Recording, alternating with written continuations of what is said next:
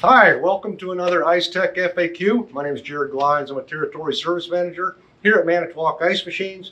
Today we're going to talk about the hotel dispensers, the SPA, SFA type hotel dispensers, on how to, uh, to troubleshoot a, the agitation timer. So each of these have an agitation timer in them that they'll agitate once every four hours in the event that it's not being used, like overnight, so that the ice doesn't ball up and, and get into a big old chunk of ice. So if the complaint is that the, the dispenser is not dispensing or the ice is freezing up in there, we want to be able to test this agitation timer to make sure it's doing what it's supposed to be doing to make sure the ice stir, uh, stays stirred up and we don't freeze up into a big ball.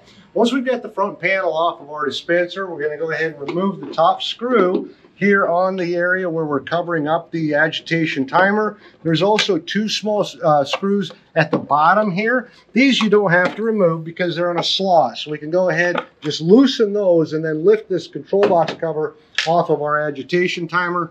Once we get into our agitation timer here, as you can see, there's actually something labeled as the uh, test for the agitation. We're just going to simply remove the red wire, at which point we're going to watch the red LED. The instructions are on a decal right there on that dispenser. It should change to a different flashing and it'll also agitate, as you can hear, hopefully, uh, for a few seconds. It's going to do this uh, for three times. That tells us that the agitation timer is indeed working and uh, this is not why we're freezing up into a ball.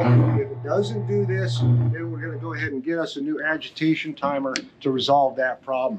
Appreciate your time today. Make sure you like and subscribe to our YouTube channel. Look for Manitowoc Ice. Look for the Snowflake. And uh, we'll keep, uh, keep you up to date on other Ice Tech FAQs as we have time to uh, put them together. And uh, appreciate your time today. Thanks.